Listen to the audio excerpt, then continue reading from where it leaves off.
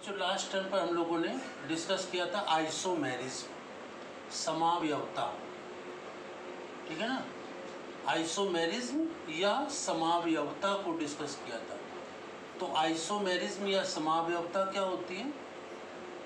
जिसमें कि दो या दो से अधिक ऐसे कंपाउंड हो, जिनके मालिकुलर फार्मूला अणुसूत्र समान हो, लेकिन संरचना स्ट्रक्चर उनका डिफरेंट हो। भिन्न तो वो कंपाउंड्स क्या कहलाते हैं? आइसोमर या समावयवी कहलाते और उनके इस गुण को, उनकी इस प्रॉपर्टी को आइसोमेरिज्म या समावयवता कहते हैं। अब इसमें आगे देखते हैं। हम लोगों ने लास्ट टर्म पर डिस्कस किया था चेन आइसोमेरिज्म ठीक है? क्या डिस्कस किया था, चेन आइसोमेरिज्म या श्रृंखला समावयवता को डिस्कस किया था। अब उसी में आगे हम लोग डिस्कस करेंगे क्या? पोजीशन आइसोमेरिज्म या स्थान समावयवता ठीक है ना?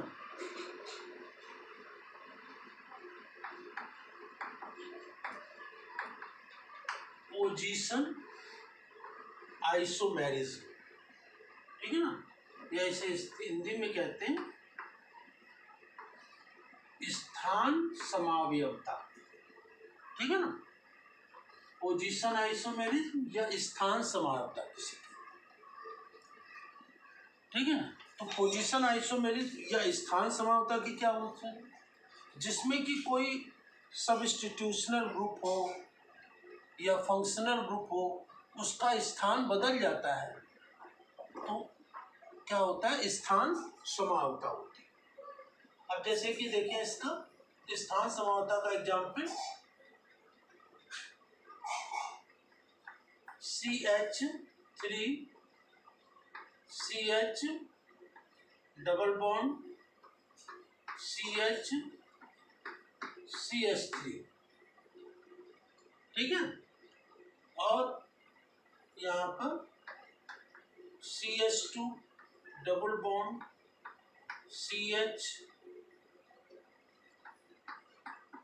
H two C H three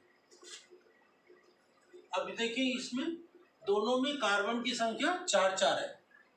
लेकिन ऊपर वाले में क्या देखें? इसमें वन टू दूसरे कार्बन से डबल बॉन्ड लगा है। और इसमें पहले कार्बन से डबल बॉन्ड लगा हुआ है। तो इसका नाम क्या है? दूसरे कार्बन से लगा हुआ है डबल बॉन्ड। तो ये क्या होगा? Two butyne.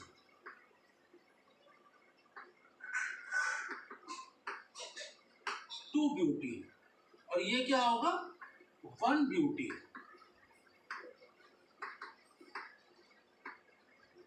ठीक है? तो ये टू ब्यूटीन और वन ब्यूटीन अब इसमें दोनों में क्या है? दोनों में कार्बन की संख्या हाइड्रोजन की संख्या बराबर है, लेकिन जो डबल बॉन्ड लगा हुआ है, द्विबंध लगा हुआ है, उसकी पोजीशन उसका स्थान बदल गया है। इसीलिए इसमें क्या है? ये दोनों वन ब्यूटीन और टू ब्यूटीन क्या है? स्थान समायोवी है, या पोजीशन आइसोमर है। और इनमें जो आइसोमेरिज्म है उसे हम कहेंगे पोजीशन आइसोमेरिज्म या स्थान समावयवता। ठीक है ना? तो ये स्थान समावता का एग्ज़ाम्पल हुआ अब दूसरा एग्ज़ाम्पल इसी का देखें। जैसे कि C S three C S two C S three यहाँ सी एस टू और सी एल ठीक है? अब दूसरे में देखिए यहाँ पर। C H three C H C H three और यहाँ पर लगा दिया सी एच अब देखिए यहाँ पर क्लोरीन पहले कार्बन से लगा हुआ है, और इसमें क्लोरीन दूसरे कार्बन से लगा हुआ है। तो यहाँ पर क्लोरीन की पोजीशन चेंज हो गई। ठीक है? तो यहाँ इसमें क्या बनना है? ये, इसका नाम क्या होगा? आईयूपीएससी में क्लोरीन के लिए क्लोरो लिखते हैं और प्रीफिक्स में लिखते हैं। तो तीन कार्बन को क्या कहते हैं? प्रोपेन। तो ये क्या हो जाएगा? One,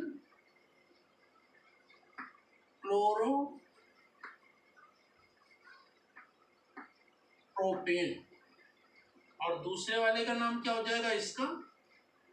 ये टू,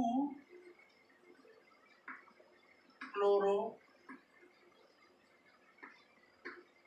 प्रोपेन ठीक है वन क्लोरोप्रोपेन, टू क्लोरोप्रोपेन। इसमें क्लोरीन की पोजीशन चेंज हुई, स्थान बदला है तो इस प्रकार से इसमें स्थान समा होता है। तो जैसे कि आपको ध्यान रखना है कि पोजीशन आइसोमेरिज्म लिखेंगे, आएगा तो इसमें एक फार्मूला नहीं लिखा जाएगा, दो, क्योंकि दो का कंपेरिजन आइसोमेरिज्म में क्या होता है? दो कंपाउंड का कंपेरिजन होता है। ठीक है ना? तो इसमें इसमें कंपेरिजन किया गया। तो डबल बॉन्ड की स्थिति बदली हुई है तो ये दोनों में क्या है? स्थान समान होता है। पोजीशन आइसोमेरिज्म इसमें। देखिए तो क्लोरीन की पोजीशन बदली हुई है। पहले कार्बन से और दूसरे कार्बन से लगा हुआ है। तो इसमें क्या है? स्थान समाप्त है। या पोजीशन आइसोमेरिक क्लोरीन की पोजीशन बदल गई। डबल बॉन्ड की पोजीशन बदल गई। तो इस प्रकार से इसमें कौन सी समा होता है? पोजीशन आइसोमेरिक अब इसके बाद ये तो पोजीशन आइसोमेरिक देखा। अब दूसरा आइसोमेरिक देखते हैं।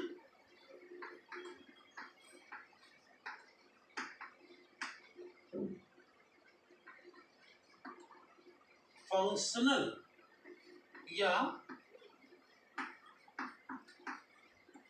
क्रियात्मक।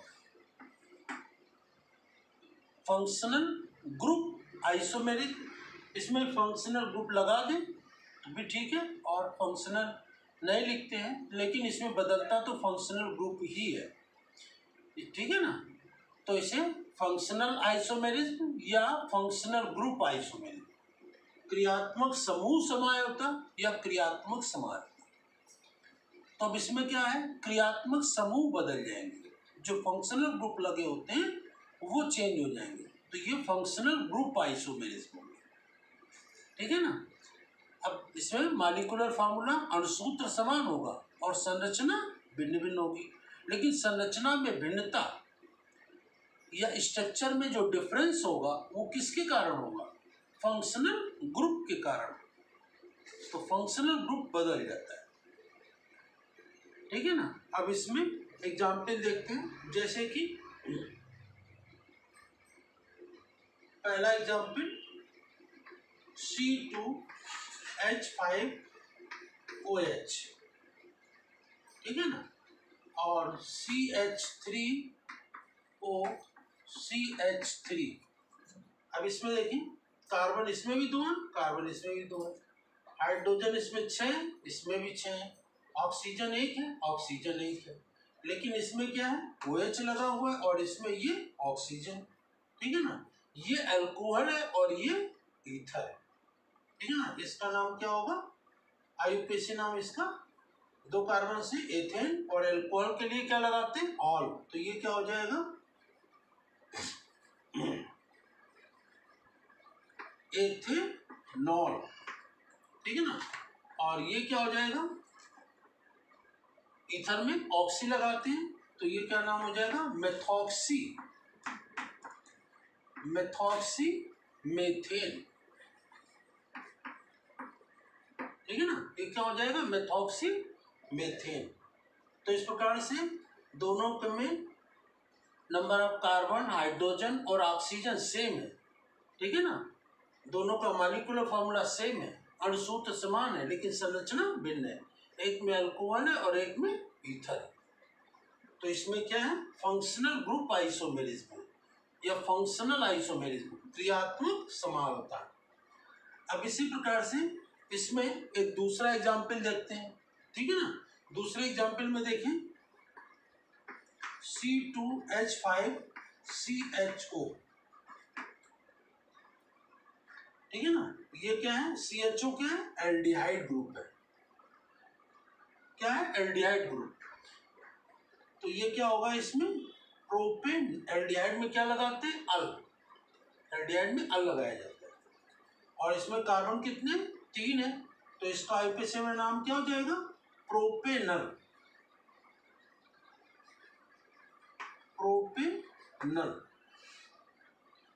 और इसी का दूसरा आइसोमर लिखते हैं। C S three C O C S three अब इसमें देखिए कार्बन तीन है, इसमें भी देखिए कार्बन तीन है। हाइड्रोजन सिक्स और इधर भी हाइड्रोजन सिक्स ऑक्सीजन एक ऑक्सीजन एक। तो ये एल्डिहाइड है और ये क्या है? इसमें लगा है सीओ मतलब ये कीटोन है। ठीक है ना? तो ये एल्डिहाइड है और ये कीटोन है। फंक्शनल ग्रुप डिफरेंट है। इसी से इनका स्ट्रक्चर डिफरेंट हो गया। ठीक है ना? तो यहाँ पर तीन कार्बन के प्रोपेनल और इसका नाम कीटोन में क्या लग जाता है सफिक्स के रूप में? ओन लगता है। तो इसका नाम क्या हो जाएगा? कार्बन तीन है। तीन कार्बन को क्या कहेंगे? Pro, propane. तो ये क्या हो गया? प्रोपेन और कीटोन के लिए क्या लगा देंगे? ओन। तो यहाँ पर ई हटा करके ओन लगा देंगे। तो प्रोपेन, नोन। और काउंटिंग करने पर कीटोन दूसरे नंबर पर लगा दिया। तो यहाँ पर टू प्रोपेनोन हो जाएगा। तो इस प्रकार से इसमें देखें। फंक्शनल ग्रुप आइसोमेरिज या फंक्शनल आइसोमेरिज या क्रियात्मक समावता तो क्रियात्मक समावता में क्रियात्मक समूह बदल जाता है। तो यहाँ पर आपको दो एग्ज़ाम्पल याद रखने हैं कौन कौन से? एक तो एल्कोहल का ईथर से होता है संबंध एल्कोहल का ईथर से। एल्कोहल और ईथर एक दूसरे के क्या होते हैं? आइसोमर या समायोगी होते हैं। और इसी प्रकार से एल्डिहाइड और कीटोन एक दूसरे के क्या होते हैं? समायोगी होते हैं। लेकिन इनमें कौन सी समावता होती है? फंक्शनल ग्रुप आइसोमेरिज तो फंक्शनल ग्रुप आइसोमेरिज में कौन किसके साथ समायोगी होगा? तो ये आपको याद रखना पड़ेगा। इसमें यहाँ पर ध्यान देना है कि एल्डिहाइड और कीटोन ये दोनों क्या होते हैं? कार्बोनिल ग्रुप के कंपाउंड्स होते हैं। ठीक है ना? कौन कौन से? एल्डिहाइड और कीटोन तो इन्हीं में आइसोमेरिज्म होता है समायता होती है। तो यहाँ पर पोजीशन आइसोमेरिज या स्थान समावता में double bond triple bond aldehyde alcohol इनमें कोई चीज़ लगी हो, ठीक है ना? Double bond triple bond chlorine bromine iodine alcohol aldehyde किसी का भी स्थान बदल जाए तो मतलब स्थान समा होता है, या पोजीशन आइसोमेरिज ठीक है ना? तो स्थान समावता में क्या क्या जैसे double bond triple bond chlorine bromine iodine ठीक है?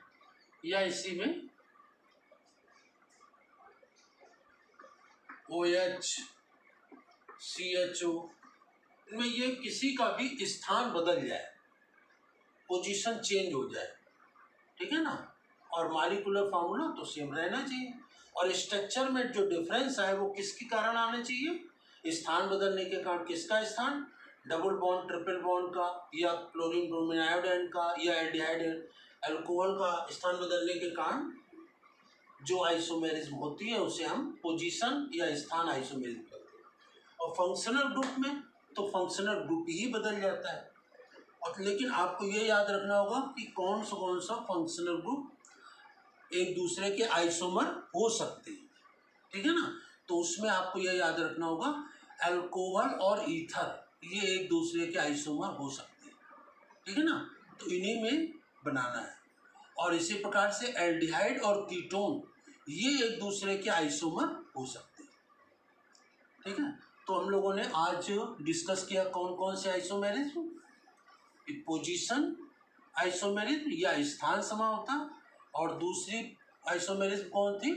फंक्शनल ग्रुप आइसोमेरिज्म या फंक्शनल आइसोमेरिज्म क्रियात्मक समूह समायवता या क्रियात्मक समायवता ठीक है ना? इसको उदाहरण के द्वारा ही समझना है। और सभी की डिफिनीशन लगभग एक थी। होगी सभी की एक जैसी होगी। क्योंकि मालिकुलर फार्मूला सेम होना चाहिए स्ट्रक्चर डिफरेंट होना चाहिए। और जो स्ट्रक्चर में डिफरेंस आएगा, वो किसके कारण आएगा? कार्बन की चेन के कारण या फंक्शनल ग्रुप की पोजीशन चेंज होने के कारण या फंक्शनल ग्रुप चेंज होने के कारण? तो जो स्ट्रक्चर या संरचना में बदलाव आता है, वो किस कारण से आता है? बस ये ध्यान रखना। इसी के आधार पर हम बता सकते हैं कि इस किसी भी कंपाउंड में जो दिए गए उनमें कौन सा आइसोमेरिज में या कौन सी समावयवता है? ठीक है? तो नेक्स्ट टर्म पर इसी के आगे हम लोग डिस्कस करेंगे। Thank you